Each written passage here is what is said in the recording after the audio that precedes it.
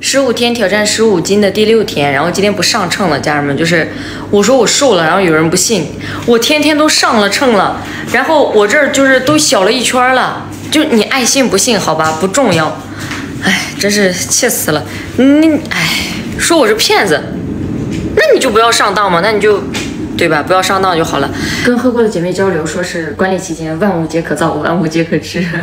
今天是第六天嘛，然后，嗯，说是吃饱，只要吃饱，然后不要吃太多就行了。现在是中午，我刚刚半个小时前喝了咖啡，现在就感觉有点点饱了。嗯，老公买的这个酸辣粉，哎呦，馋坏了，馋坏了。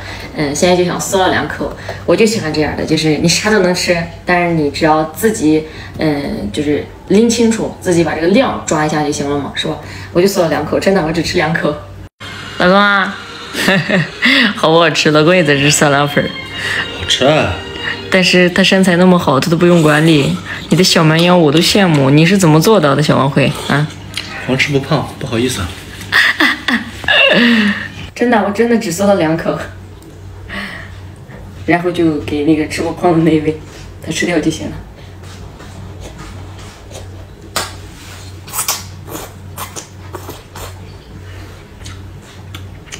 我以前怎么从来没有觉得酸辣粉这么好吃？嗯，